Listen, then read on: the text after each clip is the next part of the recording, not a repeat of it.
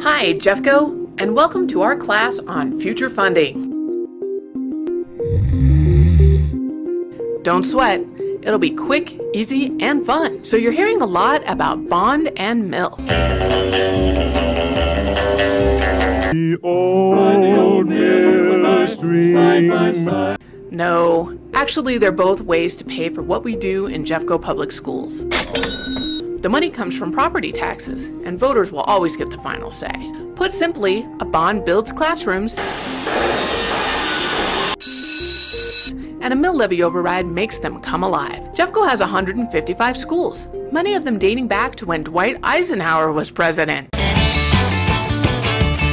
Bond funding will help refresh our older schools, bringing them up to 21st century standards.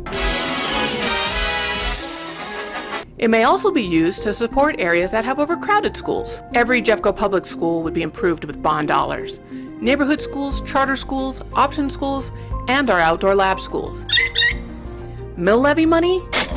That's used to hire more great teachers and staff and keep the great teachers and staff we already have. It also pays for school safety improvements, mental health supports, new tech in our classrooms, as well as educational materials so we can do a better job at career and technical education in STEM. Everything from digital media to performing arts.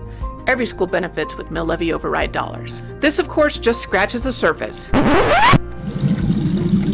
Go deeper on our future funding for Jeffco Public Schools page. It's jeffcopublicschools.org slash future funding.